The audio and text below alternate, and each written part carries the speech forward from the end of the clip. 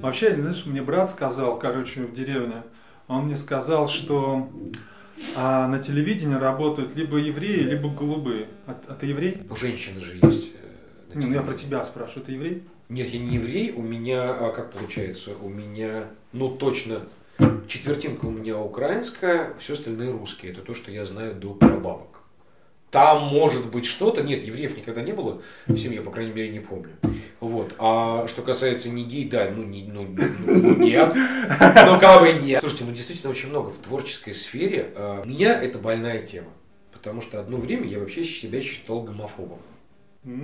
Очень так серьезно. Но я прекрасно понимаю, что это очень глупая позиция.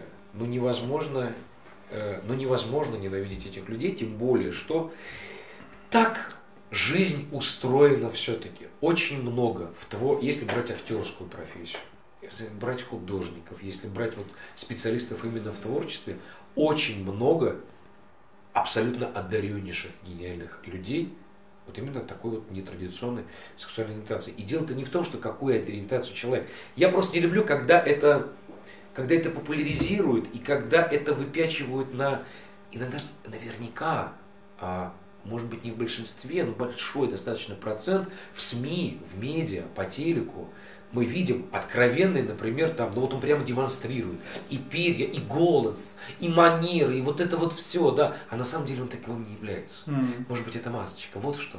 И Просто не хочется, чтобы это вот несли. Ну, слушай, ну есть э, отклонения. У каждого человека есть какие-то отклонения, да, как бы здоровых нет, есть недолеченные. Да, есть там неврологические какие-то штуки, есть Как ты серьезно к этому так относишься? я, ну нет, я А, серьезно к этому отношусь, просто я, бы, я, я в какой-то момент понял, что их как бы не любить, ненавидеть нельзя.